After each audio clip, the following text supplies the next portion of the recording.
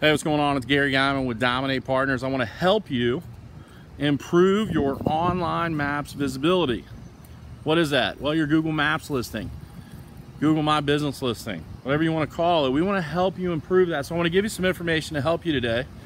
And the first thing that you want to do is you want to make sure all the items in your Google Maps listing is complete and correct. So things like hours are correct and accurate. Things like your description, you can use up to 750 characters. Use those characters. Don't just write a short description and don't just say how great you are. Describe all the things that you do for your customers. Um, next thing is add your services. Add your services. Every single service, add it.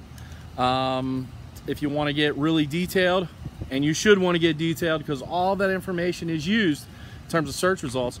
Add those services, all the services that you provide in services, and make sure it's completely filled out. And then finally, finally, the last thing you want to do is you want to use the free website on the Google Maps listing. Yeah, just go to the website tab on your Google My Business listing, click on website, click on create, Google creates it, and then you want to publish it.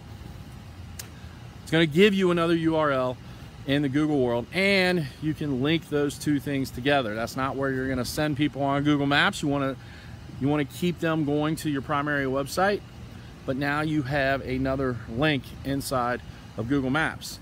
And then really as a bonus, you want to make sure that you have categories added to your listing. Obviously you have a primary category, but you should have one, two, three more categories that relate to the services that you provide. So you want to make sure those categories are correct and updated and you want to make sure that they match what it is you do. So get into your Google My Business listing, make sure you complete all the information, but pay attention to hours, description, services, website, and your categories. Make sure those things are all complete, make sure those things are accurate, and that you put information in there so that uh, when people do search you and come to your listing, there's information for them to look at and you're able to get them um, to call you or provide you with a lead because that's what matters to get them to click through.